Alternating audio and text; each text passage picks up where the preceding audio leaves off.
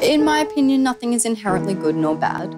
But uh, of course, cancer isn't the ideal way to change yourself as a person.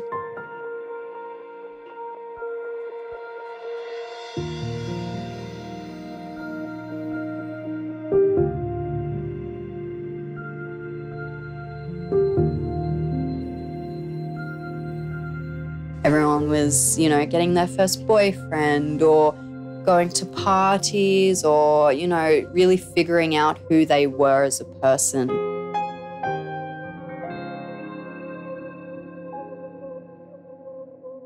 I had to grow up so quickly.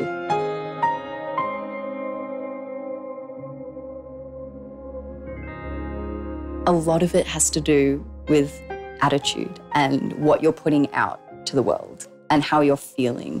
Of course, you're feeling sick and you're feeling down and bored and tired. But if you're saying, this is crap, I hate this, this I'm never going to get through it, then you're not going to. Cancer is so unbelievably painful in every sense of the word.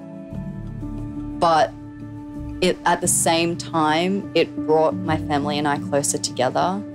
And it gave me a new appreciation for, for life and how lucky I am.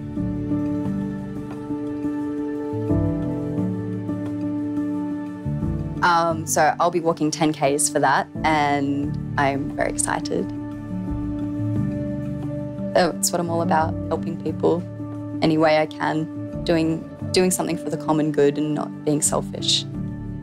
Becoming a stronger, more refined woman, uh, and headstrong and uh, powerful.